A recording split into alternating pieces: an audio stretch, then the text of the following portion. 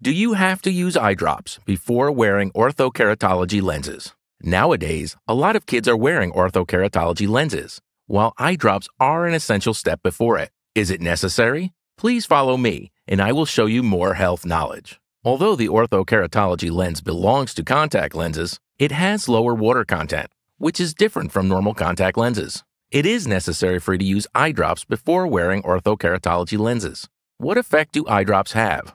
On the one hand, it moisturizes the eyes. Orthokeratology lenses are made of rigid materials with good permeability. Eye drops accumulate at the inner surface of the lenses to make it more comfortable without foreign matter sensation. On the other hand, it prevents bubbles.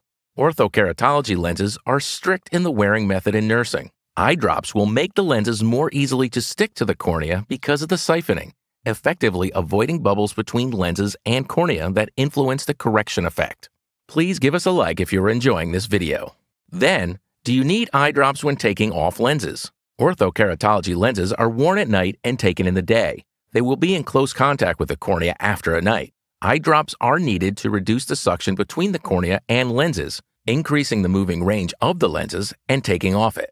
Someone also uses artificial tears when taking off their lenses. It is recommended that people should make their own choice according to the quality and secretion of their tears under the diagnosis of the doctor. Please subscribe to me, and I will show you more health problems. I have been engaged in science popularization for 19 years. Please give me a like, subscribe to me, and forward this video if you like it to introduce more people with the health knowledge.